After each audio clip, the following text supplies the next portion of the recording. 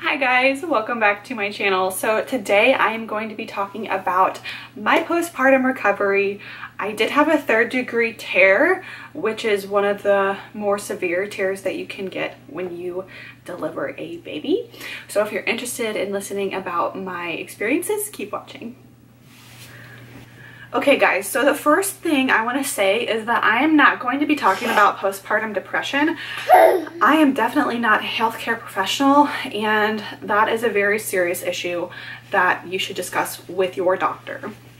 Um, I'm just going to be talking about some of the physical things that you can do to help your recovery along. All right, so I just want to say to the first time moms, it's going to be okay. You're going to get through it. Yes, it's going to hurt. Yes, you're going to be bleeding. Yes, you're going to have to wear diapers. Um, yes, you're going to be swollen. Yes, you're going to be tender. Yes, your body is not going to be its normal self, but guess what? You will get through it. Your body will eventually go back to an almost completely normal state and you have a beautiful baby that you got out of it. And that is something really special. Um, so just know it's gonna be okay. All right. Grayson is being squirmy, so I apologize, but it is what it is. Um, the first thing we're talking about today is an adult diaper. So this is the brand Always Discreet and I packed these in my hospital bag and I am so, so, so, so grateful that I did because this was a game changer. So the hospital is going to provide you with mesh panties and they are very loose and very baggy and very uncomfortable. So I would highly recommend um, getting yourself some adult diapers. They're a little bit pricey per one, but it's totally, totally worth it. They're gonna be nice and form fitting and I felt like nothing was getting through there. I wasn't going to be leaking. I didn't have to worry about like if I fell asleep for a couple hours, like there wasn't going to be a mess when I woke up. Um, very comfortable. If people didn't already know that I was wearing a diaper, they wouldn't have known. Um, it's not noisy. It's not super puffy. Um, I made a lot of jokes about wearing a diaper, so pretty much everyone knew I was wearing a diaper, but um, definitely, definitely, definitely recommend those. Um, depending on who you are and your experience, you might only bleed for a couple of weeks or you might bleed for way longer. Everyone's different. Um, I think I wore those for four to six weeks. My timeline's a little bit hazy um, because I was very sleep deprived. so I think I wore them for like four to six weeks. Um, it's not in the forefront of my mind though because you took up so much time. You still do. All right, the next thing we're gonna talk about is a Peri bottle. So I have lost mine or it got thrown away, but the hospital provided me with a Peri bottle and essentially it's just a little bottle that you fill up with warm water and you squish it and it squirts water out the end and you use that when you're using the restroom and even in the shower if you want. Yeah.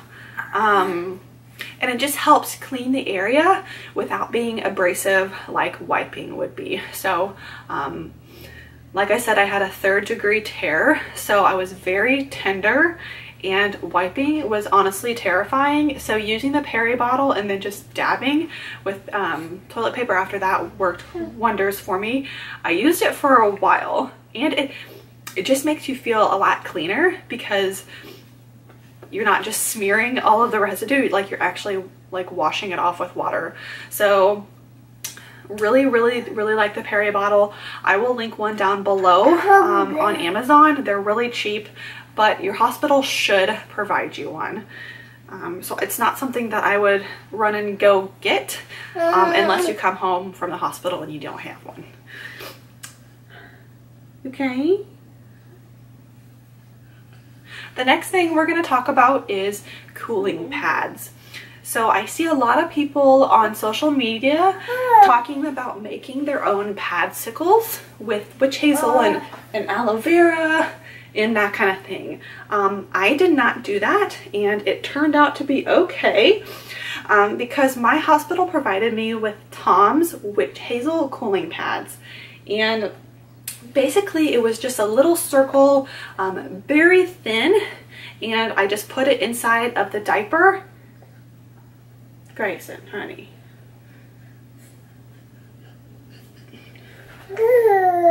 Yeah. Oh. Okay, sorry about that. Um, the witch hazel cooling pads, I would just insert them into the diaper when I was feeling really sore and it helped very quickly. So um, when I was having a, a, bad day where I was feeling more swollen, more sore, um, I definitely use those more often. Obviously you need to change them out frequently, but it really, really, really helps with the soreness and the tenderness. Um, like I said, my hospital provided those for me and I used all of them. I think there was like 50 in the container. Um, if not, I will link them in the description on Amazon and you can grab some. It's probably going to be a lot cheaper than buying pads and witch hazel and aloe and whatever else people are putting in those pop the padsicles. Um, so definitely recommend the Tom's Witch Hazel cooling pads. The next thing I'm going to talk about is just wearing loose clothing. So with Grayson, when I was just a few weeks postpartum, we took him out of the house to just get out and um, I wore jeans because I wanted to see if I could squish into jeans and I could. So um, just because you can doesn't mean you should. Um, after a couple of hours of wearing jeans, my scar was really, really sore and really hurting me and I was actually sore the next day from wearing jeans because they were too tight. So don't wear jeans unless you have to. Um, wear nice, loose, comfortable clothing.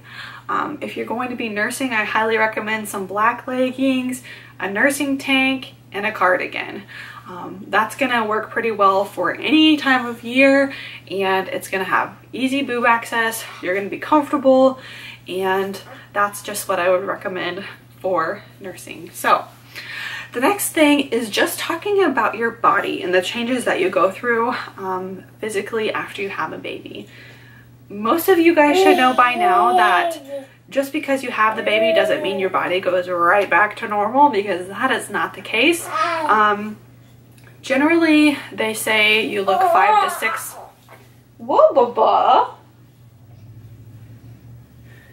you look five to six months pregnant um, after you've had the baby for a few days and then it just slowly goes down after that. Um, Grayson is five months old now and my body is pretty much back to its normal state.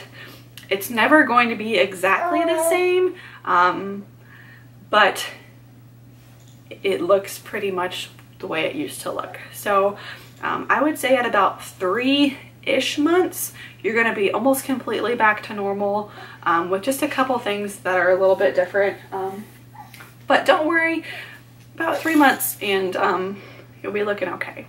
Um, as far as wearing any um, like belts around my stomach or like compression tank tops or anything like that, I didn't wear those. Um, I just let my body do its thing. what?